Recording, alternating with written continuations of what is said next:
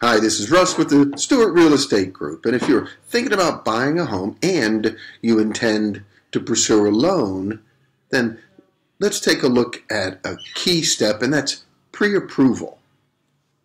Pre approval is a key step to make certain that you successfully buy your dream home. You see, pre approval is a stronger commitment from a lender than a mere pre qualification.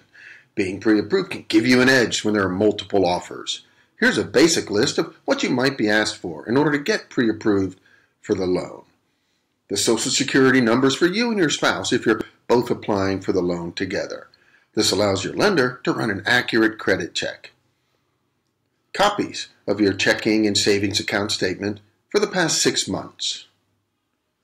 Documentation of other assets you might have, like stocks or bonds a recent pay stub that shows your earnings and the contact information for someone who can confirm that you work there.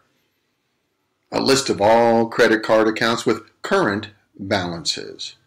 Also, your last two years of income tax returns. Remember, each lender might have other requirements for pre approval. If you have questions, we're always available to help.